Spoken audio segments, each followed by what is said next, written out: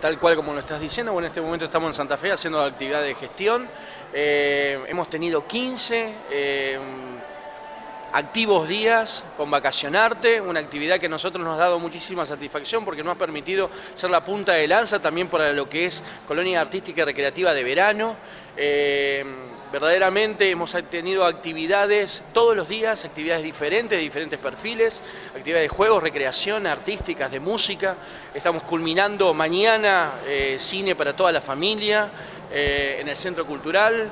Verdaderamente para nosotros ha sido un privilegio también agradecer a la gente que nos sigue apoyando y entendemos verdaderamente que estamos trabajando para ellos. Así que verdaderamente muy, muy, muy, muy contentos y también estamos chequeando el equipo de trabajo que va a asistir muy bien a lo que dijiste vos, al Fran Corre, a la mañana vamos a comenzar ese 12 de agosto con una actividad muy vinculante para, para todo el territorio y por la tarde, luego de las 13 horas, vamos a hacer el Día del Niño con una amalgama de actividades, una amalgama de perfiles también artísticos para la gente.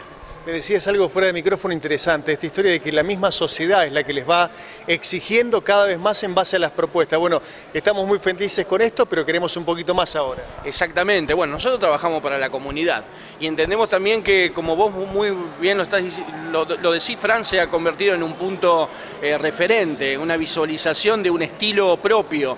Eh, trabajamos desde arte y oficios, fundamentalmente también generando ámbitos educativos con terminalidad artística y esto nos permite generar programas y proyectos para la comunidad, para la institución.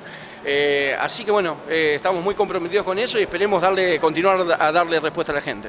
La última, estuvimos hace un ratito en la Escuela de Artes y Oficios y escuchábamos que hay gente que pregunta todavía a mediados de año, pasando mediados de año, para inscribirse en tal o cual curso. ¿Están a tiempo todavía en la región de anotarse? Bueno, hemos salido con un nuevo sistema del 10 al 31 eh, de cursos de capacitación eh, y actualización profesional, también algunos oficios. Esto nos va a permitir también eh, generar más alternativas para la gente. Entendemos, que hay, entendemos que hay ocho nuevas propuestas educativas.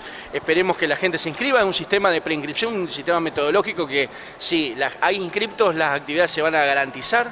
Así que sí, hoy tenemos cerca de 900 personas, 44 propuestas, a lo que sumarían estas próximas ocho, si Dios quiere.